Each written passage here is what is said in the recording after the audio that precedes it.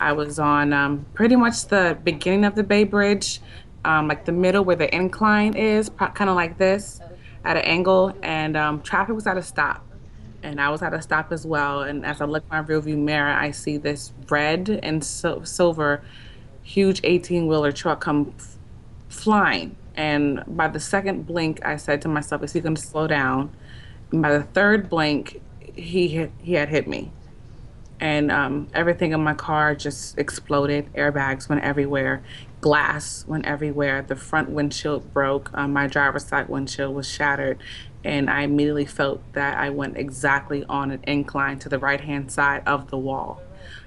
And I was saying to myself, if I can just stay on this bridge, I was going to be okay. If I can just stay on the bridge and not go off, because I knew when traffic was at a stop, how close I was to the edge. I mean, you can see the water even though you're, you're sitting in traffic.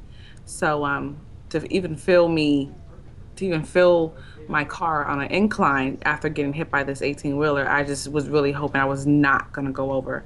Um, but I did. And when I did go over is when I lost hope. That was the most slowest drop ever. That was like a slow motion um, roller coaster ride. The jerk down was hard, but the elevation of me staying in the air was the longest. I was able to see the sky, the land, um, the water, and once I saw the water, I closed my eyes and I, I, I hit it pretty hard. It felt like concrete. I started to drown. Um, my car sunk faster than I thought it was. Um, my thought process at that time was panic. I was freaking out. Um, my seatbelt had locked on me and I couldn't move. I was flaring, flaring my arms up and down, and um, I started to feel like my body was getting filled up with water, and I didn't like that sensation, and I wanted to fight. I didn't want to die that way. I felt it wasn't my fault. I didn't ask for this. I'm not going to go out this way, and I immediately put took my left hand, touched the side of the my driver's side window, had my left hand, my right hand pushed down really hard on the seatbelt.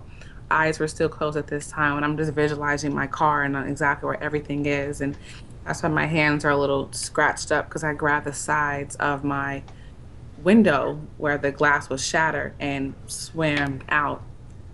But in order to me to really make it to the top, I pushed off with my feet from the inside of where the glass or that window was to give me some momentum to get to the top because I, I really felt like I wasn't going to make it. it I, I couldn't breathe.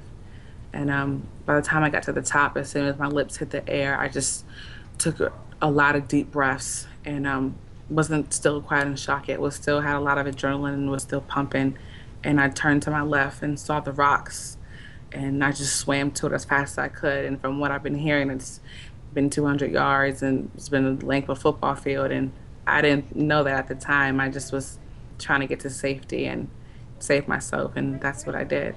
Um, I'm still in shock. I, I feel I'm still in pain. I have my grandma walker here, is what I call it.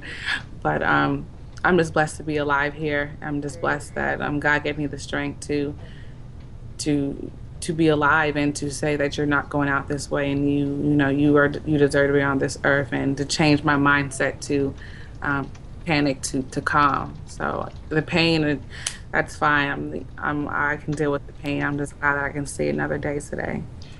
So I figured I, I know that if I can survive that and also you know the crash the the riding against the wall the falling over the swimming that eventually I can go over the bridge. Baby steps. I'll have someone drive me first over the bridge, and then after that, I'll I'll go for it myself.